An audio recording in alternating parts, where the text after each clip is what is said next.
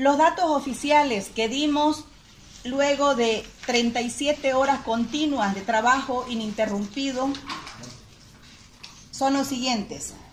Comunidad ciudadana 46.85%. Más IPSP 34.76%. Estos son los resultados finales de carácter oficial que tiene el Departamento de Santa Cruz. Creemos que lo demás no corresponde. Evitemos continuar tergiversando la información, causando zozobra en nuestra ciudadanía, porque Santa Cruz, ustedes pueden ver, el lugar ha quedado totalmente inutilizado, es peligroso eh, que permanezcamos acá por, por mucho tiempo.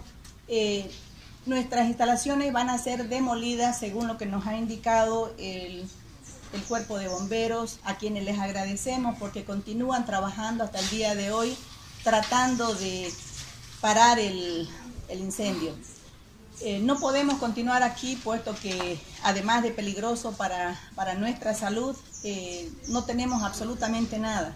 Se han eh, computadoras, equipos, absolutamente todo lo que teníamos están eh, inutilizados.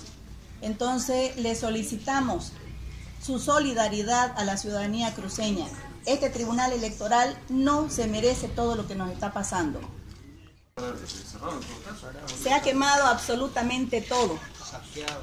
Ha sido saqueado. Ustedes han visto imágenes de prensa. Los vándalos han saqueado nuestra institución, se han llevado los documentos, las mismas actas de cómputo han sido totalmente quemadas.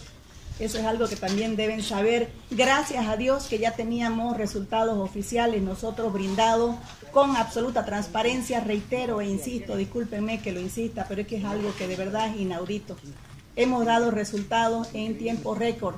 Lo grande de nuestro departamento, eh, la gente que conoce del tema no lo puede creer, no puede creer que en tiempo récord hubiéramos dado resultados eh, y que nos hubiera pasado a, eh, hoy esta situación tan delicada es inadmisible. cuantificado los daños? Imagínense, seguimos todavía eh, en llamas. Como ustedes pueden ver, eh, no han logrado todavía disipar el fuego, pero se ha quemado absolutamente todo. Teníamos, por ejemplo, documentación relativa a contratos de toda la gente que con mucho esfuerzo nos ha acompañado en este proceso electoral es un trabajo sacrificado que ha realizado este órgano electoral y vamos a tener eh, serios problemas porque no vamos a poder ni pagarle por último, ya porque se han llevado absoluta ley, van a investigar eh, qué fue lo que sucedió, quiénes han sido responsables eh, y Santa Cruz merece definitivamente que se castiguen estos hechos vandálicos. Presidenta, ¿se sabe?